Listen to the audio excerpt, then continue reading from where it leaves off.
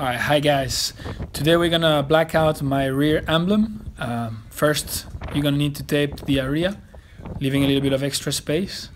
Then of course you're gonna have to mask on the side as such. Make sure to really tape it out so you don't have any overspray. There we go.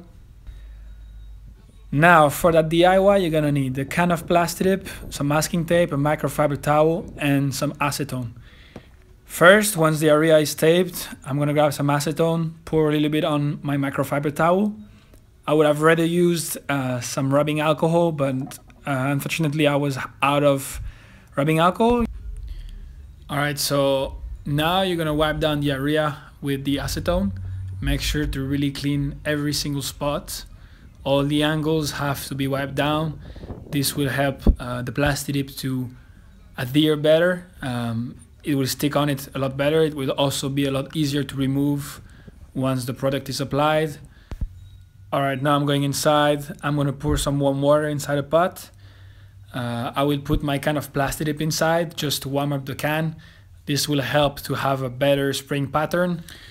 I leave it for about five minutes. Uh, it wasn't particularly cold that, that day, but it just makes it, it's just safer to do that. Alright, so now I'm gonna just do a little spray test just to make sure the pattern is alright, like I said earlier. Uh, here's on my first coat.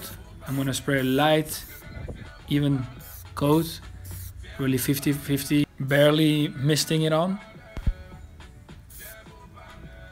Alright, now onto my second coat. Same, it's gonna be a very light mist on it. I'm leaving about 10 to 15 minutes between each coat. I mean, that day was really windy, so it was drying in about five minutes, so you can just see if it's dry to the touch. Here onto my third coat. Third coat is gonna be slightly heavier, not too much. You will see, yeah, exactly. Now you can see it's a little bit wet, as I applied slightly heavier than the coat before. Alright, here I'm showing to you guys how windy it was on that day. Uh, it was pretty tough to record. My microfiber towel was flying all the time and it was really tough to grab. Even the phone sometimes was about to fly. Alright, now here I'm cleaning the spray nozzle to get an even pattern. Sometimes it gets clogged, especially with the wind when it dries quickly. So make sure in between each coat you do a little spray test. So here I'm going on my fourth coat. As you can see, I'm going a lot heavier now. You can see that the area is almost wet everywhere. Make sure to really uh, get those spots wet all around the emblem because you're gonna have to peel that off in the end. So now my fifth coat, the heaviest one. Make sure to cover all the angles. As you can see, I'm also spraying on the sides, all around the emblem. Now that the area is still wet, this is the moment where you need to peel off the Plastidip so it leaves a nice and clean edge. As you can see here I almost dropped the paper on top. Make sure that it doesn't touch your Plastidip because it's wet so it's gonna be tough. So here you see me just to show you guys how you take the Plastidip off uh, once it's sprayed. I actually messed up slightly and touched like I said like you shouldn't while I was trying to do something and I messed up. So here you can see how to take it off and you can just respray without any issue after that, just starting all the process all over again.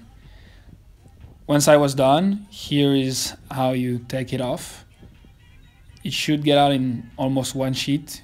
Make sure to wait about a solid 15 minutes, especially for that one. So grab the edge carefully, try to really not be too far once you grab it. Then for the inside, it's kind of difficult, uh, especially since it was really cramped in there, cramped in there. And uh, so I, I, I used a, a pen just to be able to grab the edges and then I just peeled it off with my hands. It's a, it's you have to be really uh, delicate with the process. Make sure not to scratch the emblem. Then for the bigger areas like these, it's a lot easier. You just grab somewhere or scratch somewhere. then you will be able to hold on to the Plastidip as so all right there we go then just go on and take everything off I already did most of the work just to show you how easy it goes. I was no I didn't want to show you the whole process. I don't think you guys need to waste your time watching everything. And I don't have a time lapse. I'm not, I'm not really sure how to do that yet. So yeah I'm trying to improve as uh, I'm doing more more and more videos. So now here's the final product. Looks pretty good. I'm just gonna use some top coat from Plastidip just to make sure that the area uh, will last.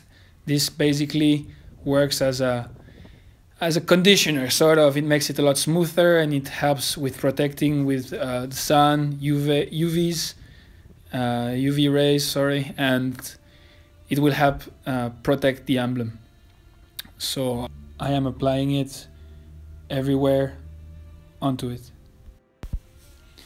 alright so thank you guys for watching. Uh, in my next video I will try to black out my trims and my side mirrors and also doing the tire lettering kit. So I'll see you in the next videos